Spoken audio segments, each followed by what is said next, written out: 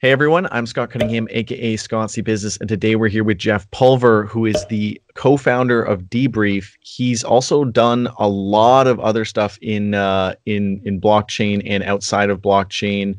Um, I, I, guess maybe you could tell us a little bit about that because you've you've done a lot. Um, so if you want to give everyone a little bit of an introduction to what you've done in the past and then what you're kind of up to now, that'd be awesome.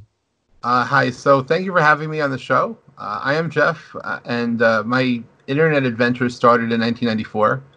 And in 1995, I got involved with uh, audio and video on the internet. And in fact, in 95, I launched the first uh, phone network ever on the internet called Free World Dial Up which had three evolutions of life. Uh, FWD uh, at one point was phone to phone, and then we were PC to phone, and then we were just end to end IP. And that ran until about 2008. And in the interim, in between, I was fortunate to help bring together what became the global uh, voice over IP industry, which today probably is a $2 trillion market. And why, and I created the trade show and conference, which became the go-to place for people to do business in the industry, and that ran for uh, a number ran from uh, you know, I launched the precursor to VON in 90 in September '96, and I ran that through March of uh, 2008. And while I was running the conferences, I had ideas for businesses that I thought should exist, and uh, I'm very grateful that I had an opportunity to uh, launch a company, which ultimately became Vonage which was the first successful broadband phone company.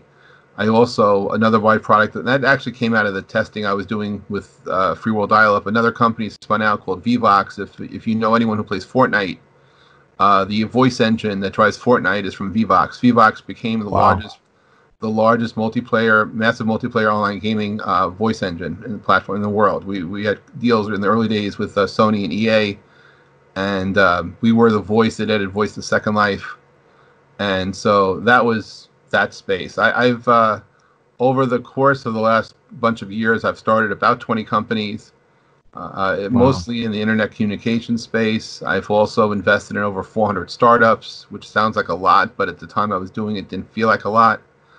And I've run conferences. I, am very much a believer in helping to people to connect and to engage and to communicate um, on the internet and to uh, also be themselves in a very soulful way.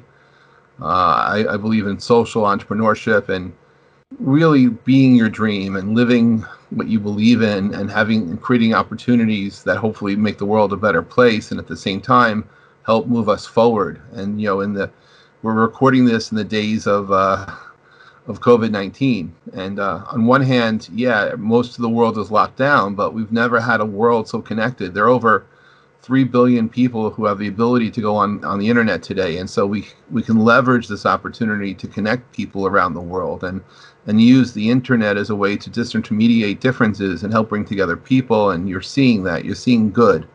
You're seeing challenging times, but I, I, believe in positivity and I believe in hope and I believe in tomorrow and that, that the history is not written. That that we take this where we are right now and we go forward. And uh, it, it, was a few years ago when I was exploring blockchain. I, I, am you know, I, I play around with different technologies for different reasons. And wh- one of the challenges in the communications industry has always been back office systems and people not relying or believing that their phone bill was accurate that their billing was mm. inaccurate, that people always had these discrepancies and or didn't trust, right? Although you find that with utilities, what's ironic is that the more you don't like a company, the more you trust them with your personal data, like utility companies and phone companies. And, and, and branding is a big thing too. And how do you become that brand? But you know, when I first started started thinking about blockchain uh, in the era of communications, there are a couple of things that I wanted to figure out how to do better. One was billing, and the other one was the elimination of spamming and what we deal with in the U.S. robocalling. The fact that I get unsolicited phone calls with fake identities calling my phone all the time to the point that I don't pick up my phone anymore. Right? I only hmm. basically mm. answer people who I know. Yeah. Uh, and and text spamming is really ridiculous. And so, if I had an opportunity to redefine communications again and create an infrastructure which allowed people to communicate with those people, only those people they wanted to speak to, only those people they wanted to connect to. Uh, I thought that was something exciting and new.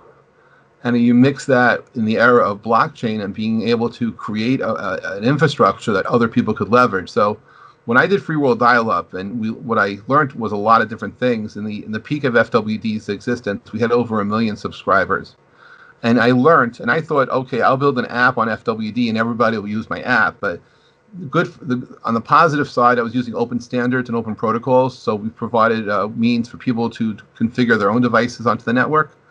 But I thought, okay, I know I'm going to create the best, the greatest communication app there ever was I spent a year and a half building this app, uh, aptly called Pulver Communicator, and it was open standards, but it was so heavily over-engineered that the only person I think who ever used it was me. Uh, and I learned a lot that you know sometimes the hardest thing to do is something simple, and and so with the chance to do it all over again, I you know I, I learned that that support open standards, open protocols, and let the user decide what apps they want to use to use your infrastructure. And so I had an opportunity uh, a couple of years ago to start exploring that future. And the origins of Debrief really come from looking to redefine communications, create a network that others could come onto, bring their optional services, bring their value added services, and communicate through and through it. And so we, we ended up uh, creating a proof of concept, if you will, a DApp, which is which you could see what one could do on the network uh, I am actively looking for software developers and uh, people who already have products shipping who like to level, leverage the security of, of, of, a blockchain network and know that the endpoints will only be those that they that are actually authorized to be on there to connect and communicate with us. So my, my focus is the infrastructure. So it's like me trying to in- introduce, it's like you and I talking in 1993 and I'm trying to explain to you what the internet is and what we could do yeah. with it. And so I'm looking at Debrief as the platform that will help enable end-to-end communications between parties. And you know, in telecom, a lot of things are centralized. A lot of things are centralized, and so you, the the phone company puts themselves in the middle of everything.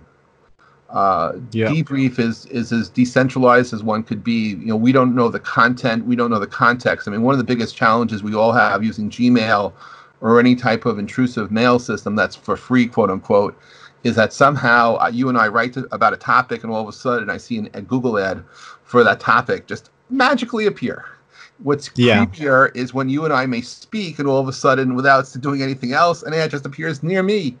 I don't know how that is. Maybe it's a coincidence. It's some serendipitous moment of computer time. But in our case, we don't have access to the content of what's shared between the parties. It's an end-to-end network where we're not in the center of it. We're not, uh, you know, we're not holding your data and mm-hmm. so I don't know I don't know the content. I don't know the context of the content. So there's no uh, nothing to worry about there. And and what our focus really has been is redefining communications. If I had a chance in 2020 to look at into the future, what would I like to see? That's what we're focusing on, and that's what we're building. And and for me, this is a, uh, a preview into where communications will go. And so, you know, on one part, the legacy phone companies are stuck being legacy phone companies. Innovation is really, really, really hard uh, in the yeah. companies who want to change. And you have some great innovators in Canada. You have great innovative companies around the world, but most of the innovation that you see, most new services that are launched, are not built at the company. They're actually purchased.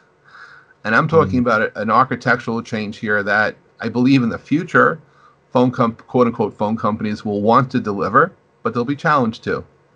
And you know, and, and as we're seeing people go um, evolve in this set, in this internet enabled communication paradise known as broadband internet, I, I, believe that we have an opportunity to to for to empower other people to develop services that will be that will be deployed on our infrastructure. And so um and it's exciting and it's fun and it's uh it's one of the things that keep me engaged and thinking and and believing that that we will always evolve this. You know, for me, um, I believe that voice is the killer application. No matter how fancy we get, no matter how advanced we are, granted 3D holographic imaging done the way that they've done in Star Trek and Star Wars, if we can get that, that's pretty darn cool.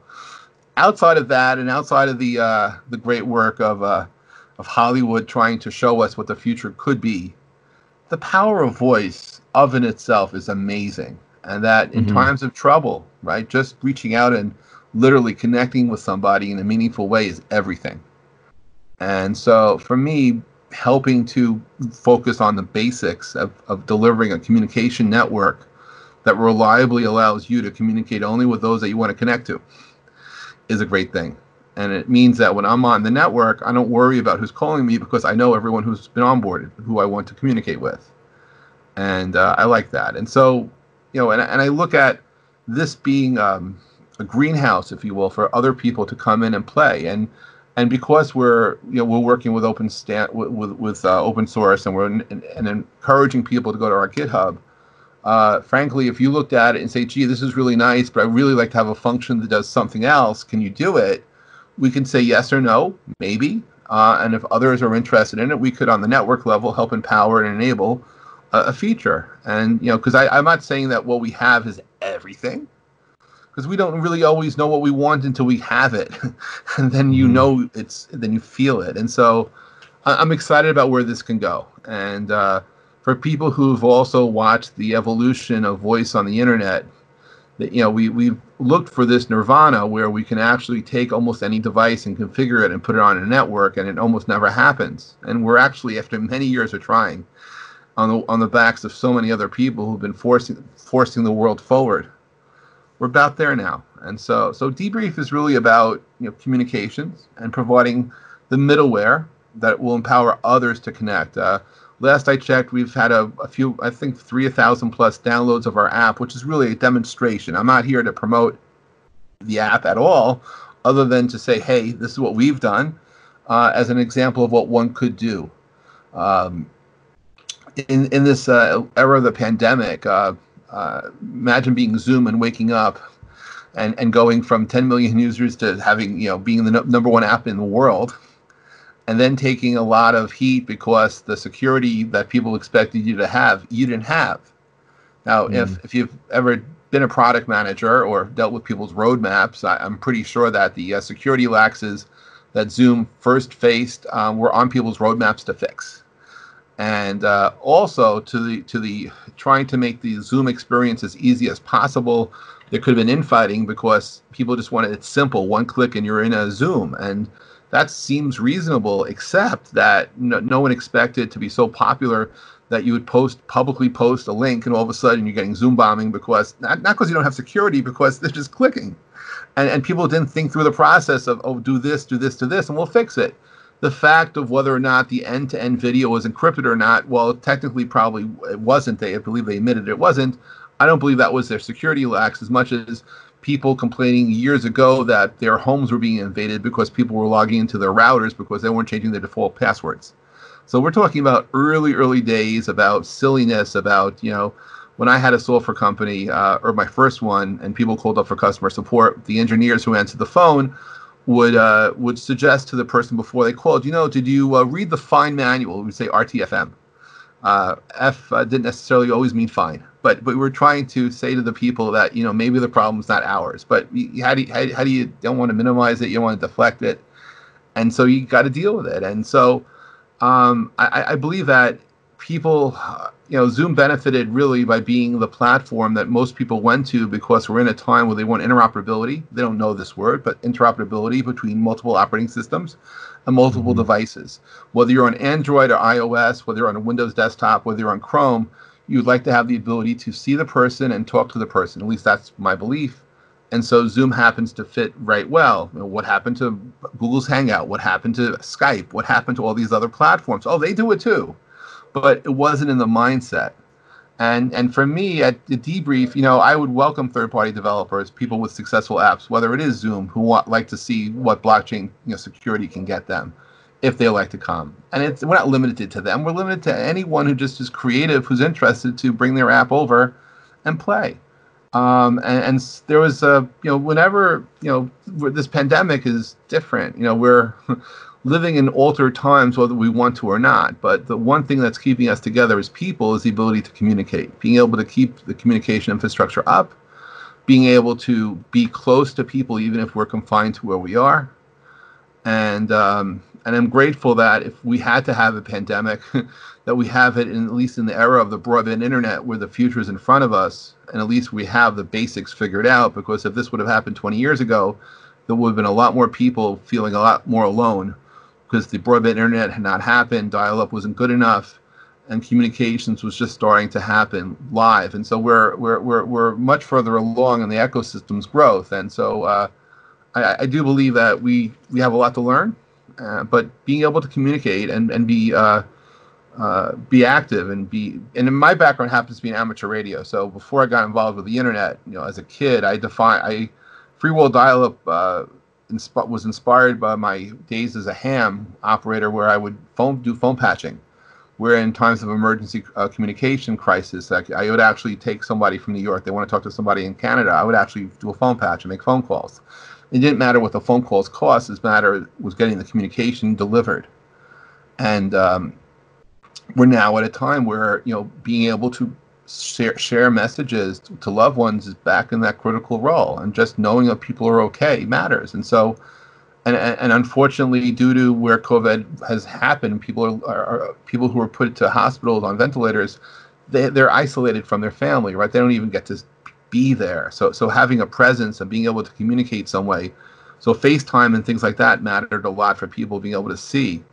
Uh, one one of the things that I did achieve, and which I'm very um, grateful for, to have a government that listened to me, and and just the fact that I had a premonition about it. But in in 2003, I woke up one day and in 2003, we were we were past the dot com era crash. We were back, past the non effect, the effects of 9/11 in the states, and we were uh, uh, past the uh, telecom crash. And I realized, oh my goodness, the phone companies, at least that's what I thought, that they wanted that that, that pretty soon they're going to take they're going to look at at broadband as a threat to their future. And I had to save the future for everyone else. I wanted to keep a creative and greenfield op- greenfield opportunity greenhouse opportunity for creativity and innovation on broadband.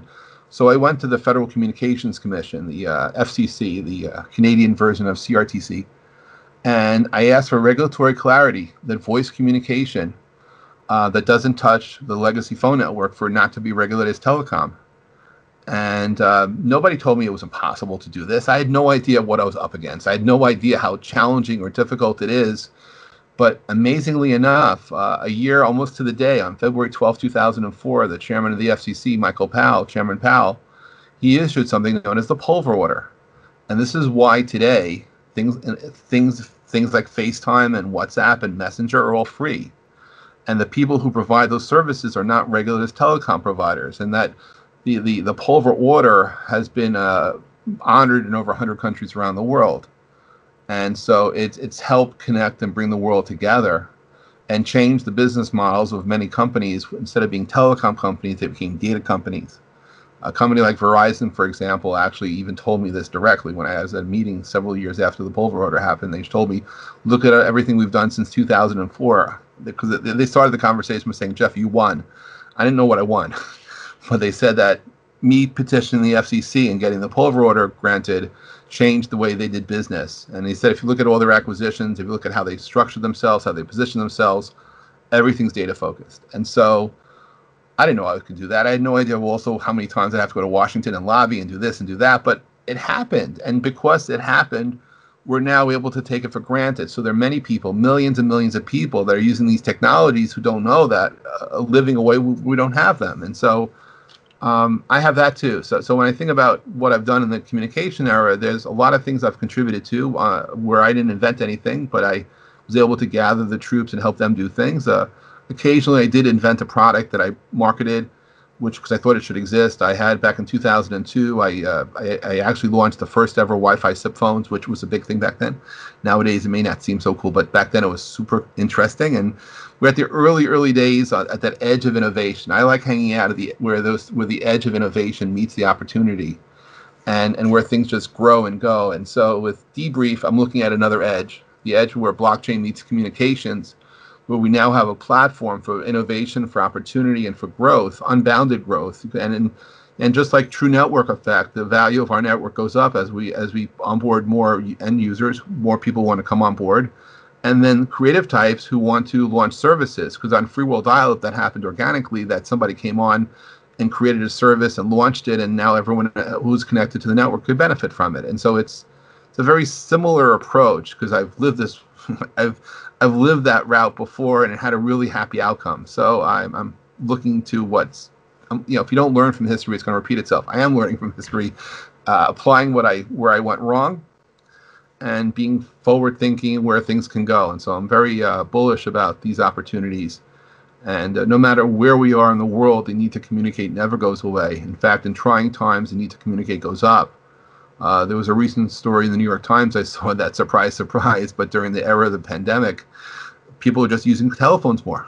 People are actually reaching reaching to their phones and calling people and talking. Imagine that.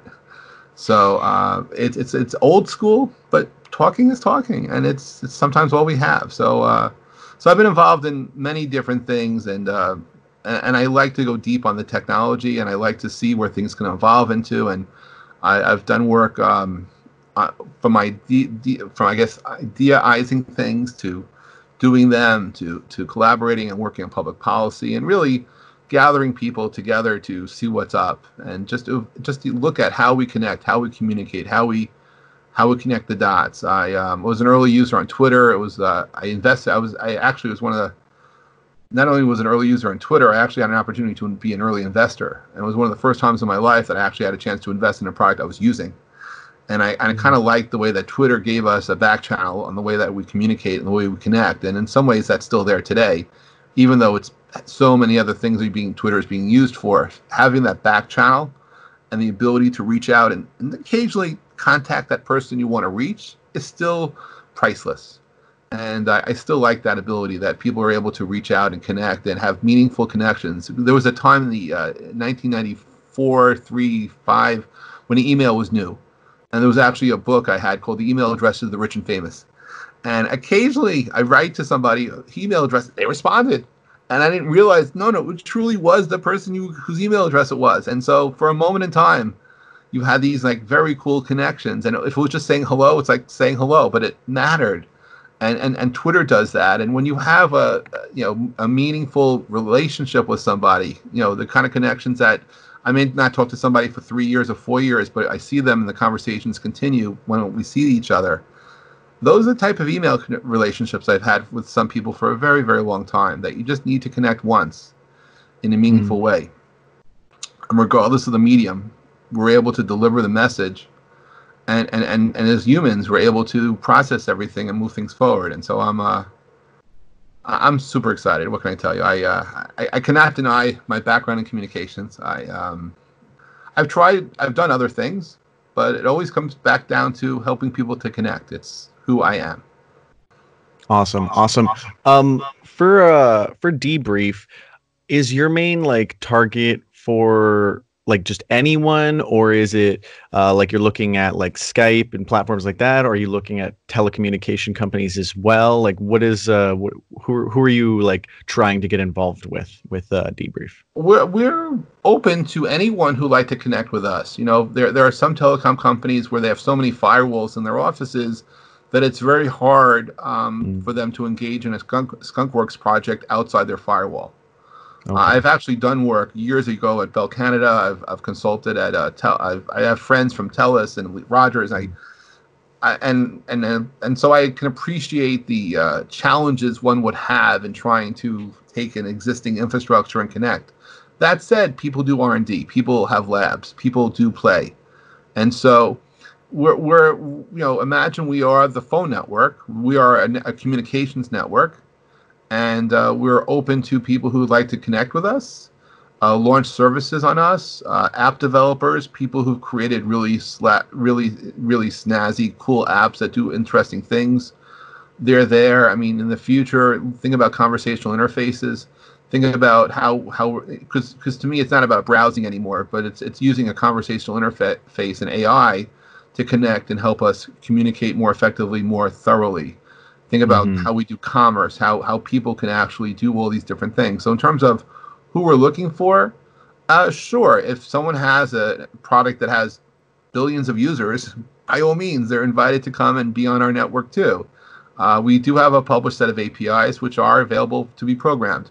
Uh, if someone is just curious what we can do, they could download the D app and they could play with their friends and see what we've done. But again, I'm not looking for anyone to imagine the future based on what we've done. I'm just saying that if you're a developer and you're just curious what what's possible today, we could showcase what's possible today. Uh, and if there is a you know a quote unquote telecom operator infrastructure provider who would like to connect with us, we're open for biz dev, we're open for business, we're open for opportunity. Uh, so, so so so yes, on the communication side, interesting app developers, um, particularly frustrated app developers that wish they could do things on their iPhones or other Android devices but never could.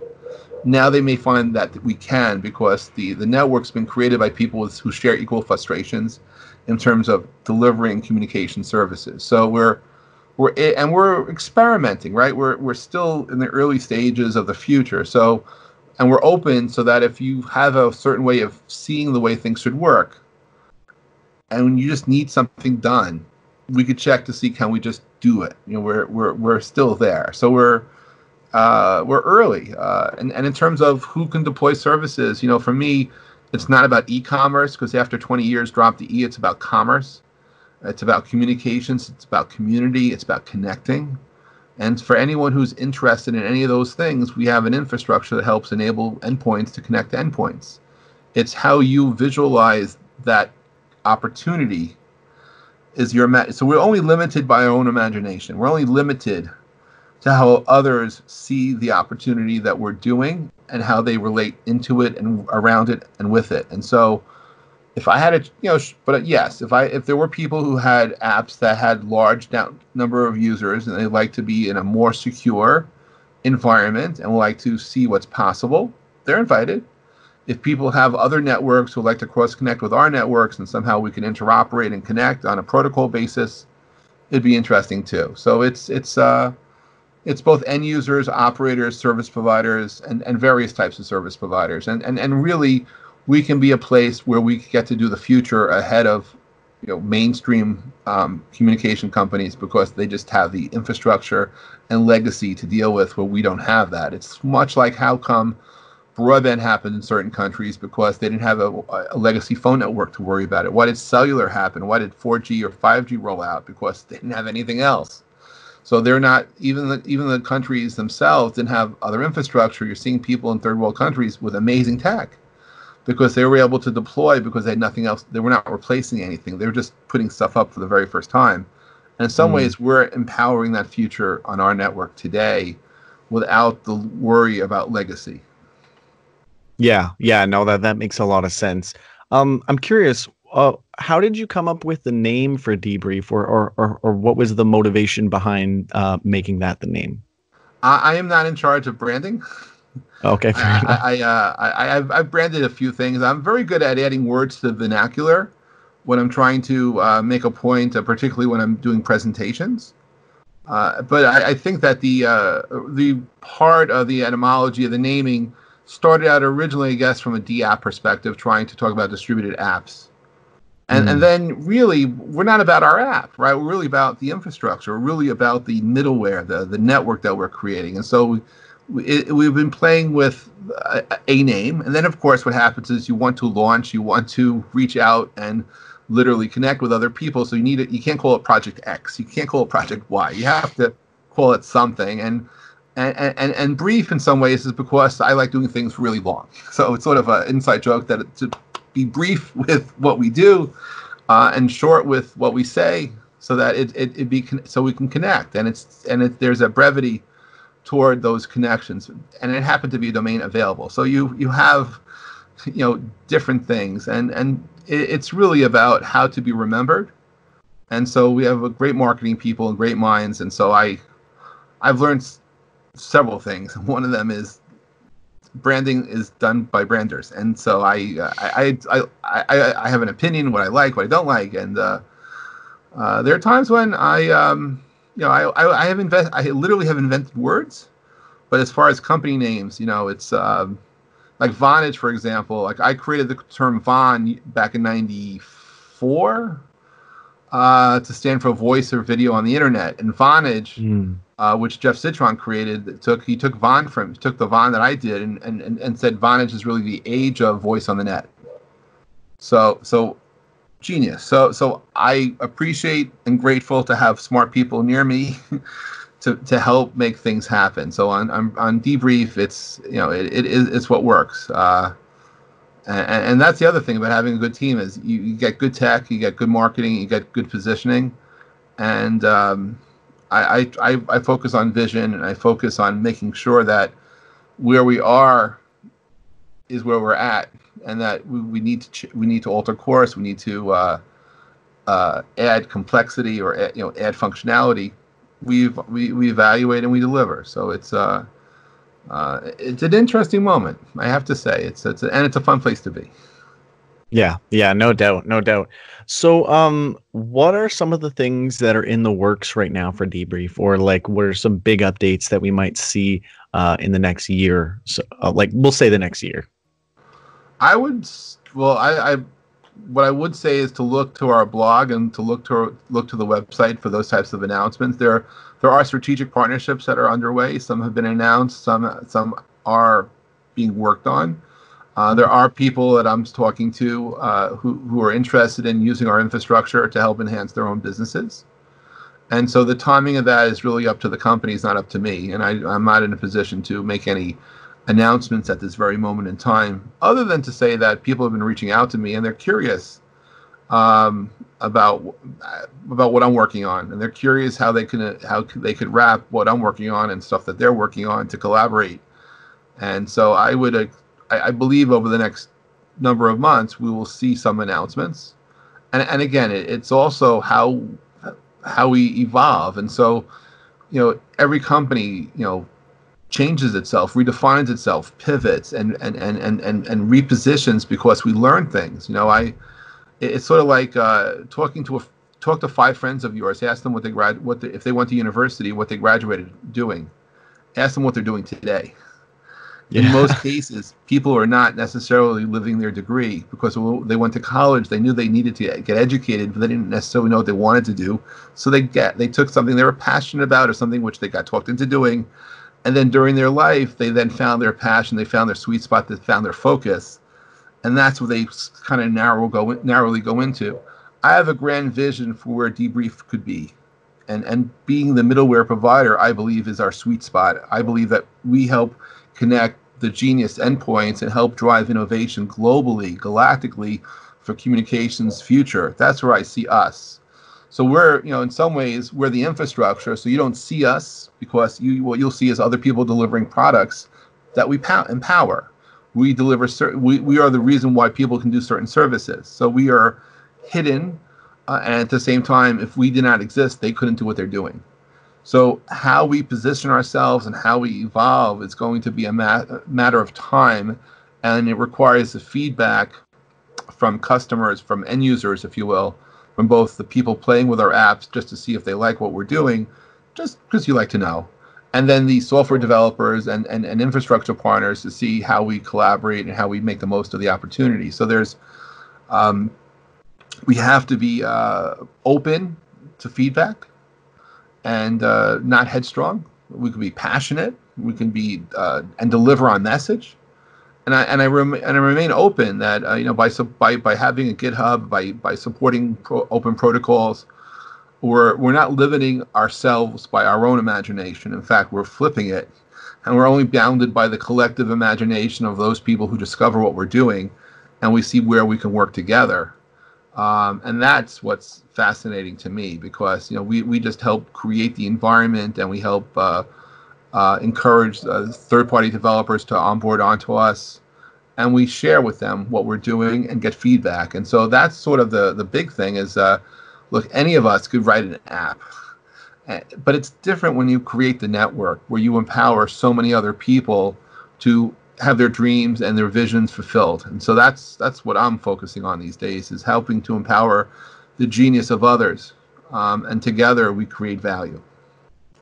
Yeah, yeah, that's um, that's an awesome vision. So applying that vision what do you think or where where do you hope to see debrief in like the long term like five ten years? What would be you know saying everything works out perfectly where would you hope to see a debrief in like a five ten year run? Well i'll say that free world dial-up launched in 95 it evolved in three different generations by 2008 in 2001, I, and during the in the in the interim time frame of FWD being this test platform or this global interoperable platform, um, I saw a need for people who um, literally were broken, brokering telecom minutes to get together and do business. And I created something in 1998 called the Minutes Exchange. And the Minutes Exchange um, pivoted in 2001 and became Vonage. It went from brokering telecom minutes to actually being the platform that it, that became the successful, first successful broadband phone company, and then and, and their success, the success of Vonage, is the reason why globally around the world, every phone company, every cable company now offers digital phone service. We did, we, we were the proof point. Vonage today has, you know, last I checked anyway, was multi-billion dollars in revenue. When they went IPO, they had I think a three billion dollar valuation. Today, I think they're at one one and a half billion or so. I didn't check today check, check today's price, but we're we're there and we created value for everybody. And Vonage is flourishing today, and they're growing around the world, and they have users and products and and staff worldwide. So the point was that the company started, you know, very, very uh, humbly in '98, launched in 2001, went public, and I think I think it's 2005, and it's doing quite better today than ever ever before. And this is 2020. We are in it for the long term you know, the, the first few years are going to be what they are. I, I do look for us to be the platform that innovation happens on. I'm looking for us to be the platform that the future gets defined on. If we just inspire people, great. I am looking to onboard people who will then have their own customer bases. So somebody who has literally has uh, you know 100 million users may want to launch a secure blockchain uh, you know network a subsidi- a sub on our network and they and they end up adding you know a million users for themselves. So so we're the we, we can count those million endpoints as our endpoints too because it's really we're we're, we're the uh, solution provider for that. But we're not limited to one company. We're we're only bounded by those people who discover us and how we do things. And so there are services we'll probably deploy ourselves because we can, and that others will then use to wrap into what they deploy, and and, and just just just makes more sense. And more it's more the economics are in favor if we deploy certain things and other people can come in and they they be that provider. So in terms of where we're going this is a long-term play. I, I am not saying that we're here to replace bell canada or telus or, or, or rogers or at&t or verizon but if we end up doing something like that, I wouldn't be that surprised. We, we, we have we're only bounded by our imagination. We're only bounded by how we look at and how we see the future and how it evolves and and be proactive about it. So so in terms of where we are long term, I would like to believe 10 years from now we're growing still. And that um, you know, I had no idea when Vivox and Vivox spun out of Free World Dial Up 2. I had no idea that today excuse me, that today Vivox would end up being the, the largest provider of hosted voice services anywhere in the world for massive multiplayer online games. So, you know, could uh, you know, could Debrief empower a company that wants to offer hosted voice services for games? Sure. I mean, we could do so many things. You know, I want to focus network infrastructure middleware. That's where I'm. That's where I'm taking the ship. If if a awesome. friend wants to leverage the ship, and because it's really you know we're also the ocean. And they want to come in and and plan things and play we're ready to play. We, if people want to build a an alternative uh, reality universe like second life you know, next generation second life and they want to be they want to power the endpoints securely to communicate we could be a communication network for them.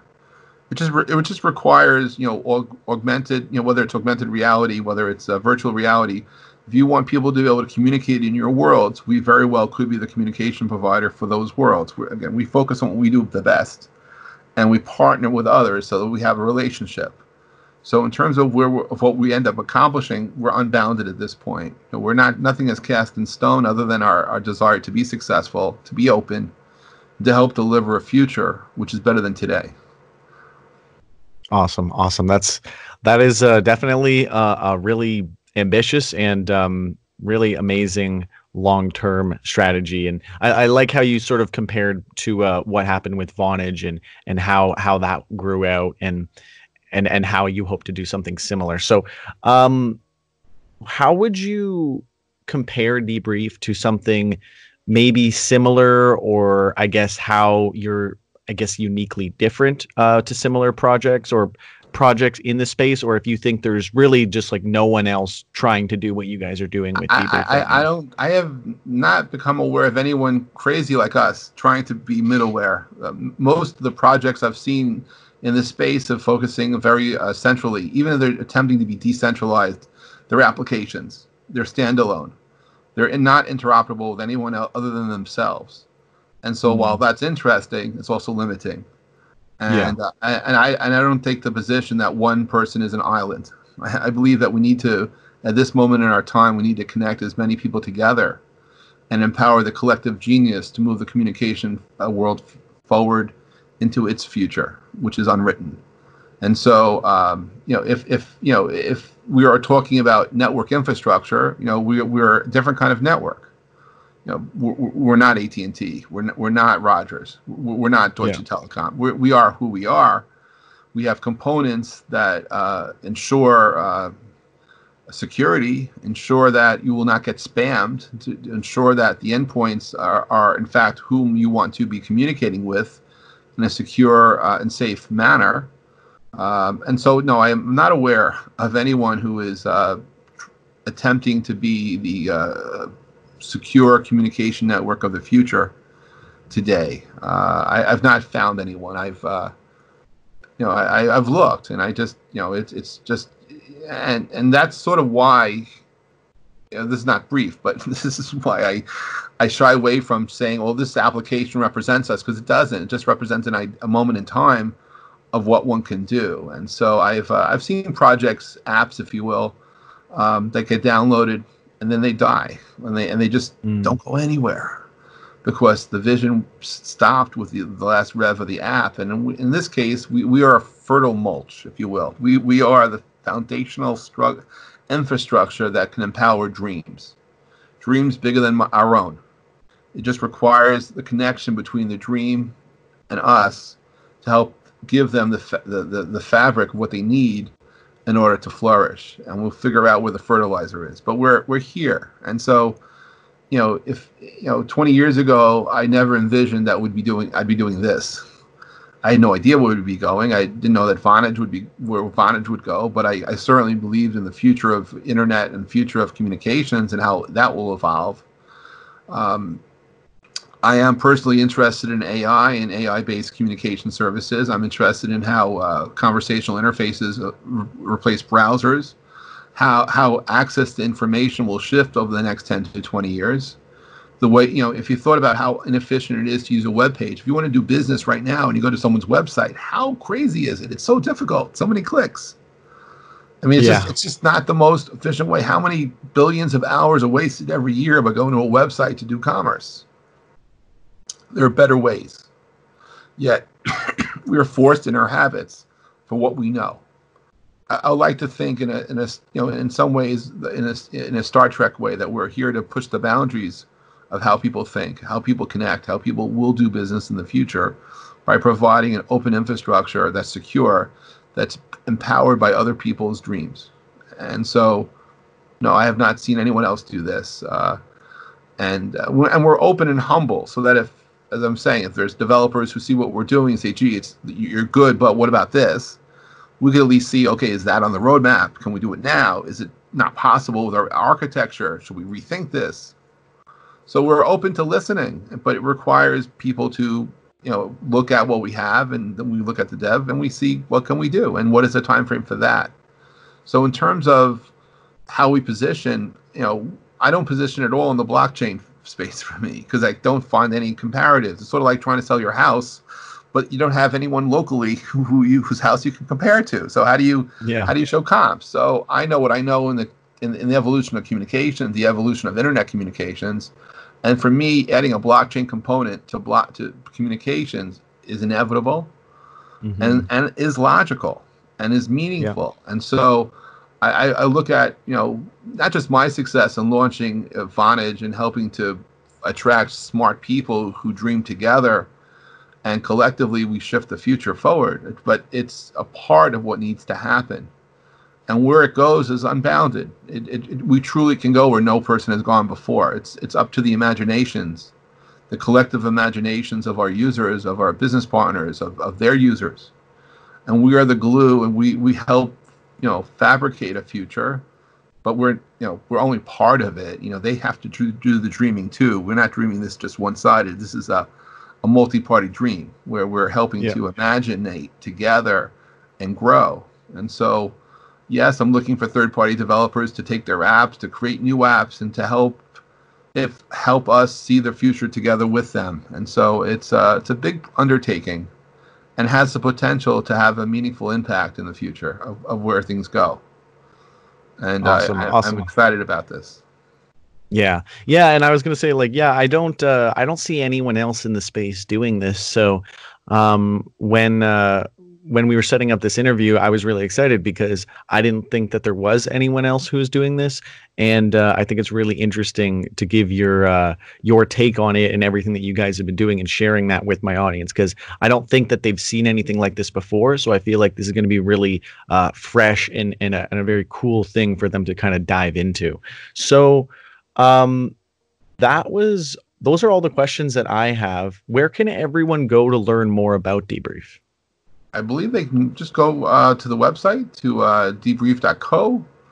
Uh, there's an active blog. Uh, the, the, team likes to post on Medium, uh, and and really, and they're active on Twitter too. But they can debrief has answers, and uh, there are people who answer questions too. And it really, you know, if anyone's had a passion to communicate and would like to be part of the communication future, we're happy to talk to them about how they can take what they want to do and see where we can work together and, and take their you know endpoints and their soft and their imagination and, and help it uh, connect to our uh, middleware.